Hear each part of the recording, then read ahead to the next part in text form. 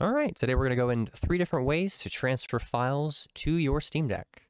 This was a question that someone asked, so if you have any questions, feel free to leave them in the comments. It gives me ideas for future videos.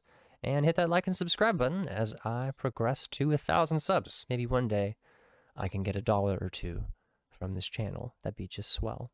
But this person asks, are USBs necessary? How to even transfer ROMs? I just want to pay someone at this point. I totally understand your frustration. Hopefully we can break down some easy ways to transfer files to your Steam Deck today. Let's get right into it. USB. So I formatted this USB to be FAT32. You might have some problems if you have a different kind of device. Go into disk utility or something similar on Windows and format that bad boy. Make sure you don't have anything important on there. You do format it as FAT32, go ahead and plug that bad boy into the Steam Deck, and once we've plugged that in, you should see mount and open. I'm to go ahead and mount that and open it up. And here we can see it.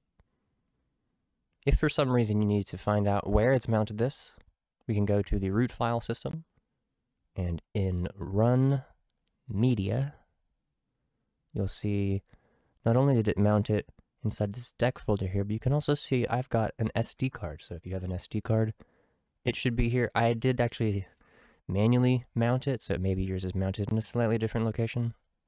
But it auto-mounted my USB FATMac to deck FATMac. So here's our USB. Now if we want to transfer a file from this location that it's mounted our drive to, we can go into whatever file or folder we have, copy our file, go to some destination and paste it.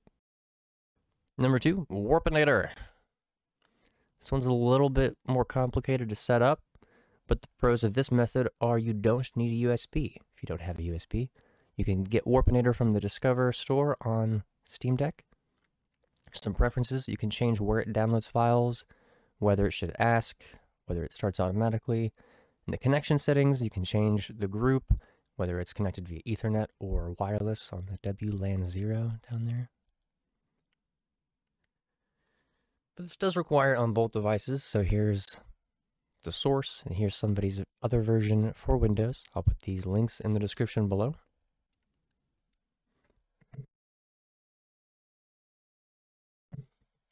After downloading it and extracting it and open it up, we're going to go ahead and run that purple guy, Warpinator EXE. No, thank you. And I've noticed, well, you'll actually, I don't know how your network is set up, so I'm just going to assume that maybe you don't know what your network is, and we'll hit public and then allow it. So it just works. But I actually had to go back to my Steam Deck and close and restart it for it to recognize it. So here it's actually recognized it.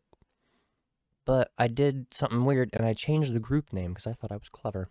So seeing that I changed the group name there and it was expecting it to be Warpinator, I will make sure that matches. We'll apply it and we will restart that. And now I'm showing up on both devices there.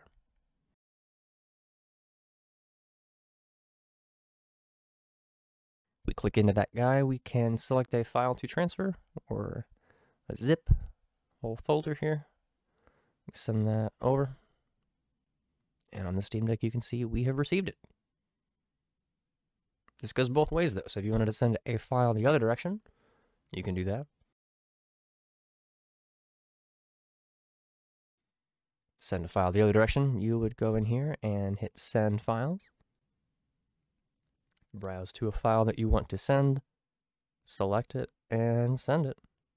The difference being is I haven't set to auto accept on the desktop, so I had to manually go back and accept that. The final method, SFTP, Secure File Transfer Protocol. If you're on Windows, I recommend Windows Secure Copy. Some alternatives to that are FileZilla, CyberDuck I recommend. I've used that one on Mac OS for sure. And Transmit, which is what I'm using today on Mac OS. So download whatever app you fancy. They all look pretty similar here. On the left-hand side, you'll have your local machine. Here's my user folder with all my crap. And I have it opened up in the, the right-hand side. But usually you'd have a different computer over there, so you could transfer stuff left and right. So here we'll go into games and ROMs, and let's say, for instance, this is a folder that I use quite often. You can actually go into the preferences here and then say Windows opens with, and I can set this to open that folder automatically, so I don't have to keep popping in here and going into games ROMs. This will depend on your configuration if this is a helpful tip for you. But now it'll automatically open this ROMs folder here. And then on this, we will change from local machines to servers. You can see I've already set up two servers, one for Wi-Fi, one for Ethernet. We will add one. This is how you will create a new connection. Make a new SFTP connection. We'll give it some sort of unique name here. It's connected to Wi-Fi. You might want to differentiate it because if you dock it, uh, mine gets a different IP address because I haven't set up a static IP or anything fancy. It's just automatically getting different IPs. I recommend the Fing app on iPhone or Android so you can scan your network and figure out what this IP address is. Mine is this, but yours will be different. You could also run IP ADDR address show, IP address show in the terminal. Back over on the desk, uh, the Steam Deck, you can see our user is deck at Steam Deck, and if you haven't ran password to set your user password, go ahead and run that and set your password accordingly. I've already set mine, so I'm not going to change it. But that's what you will enter here for user and password.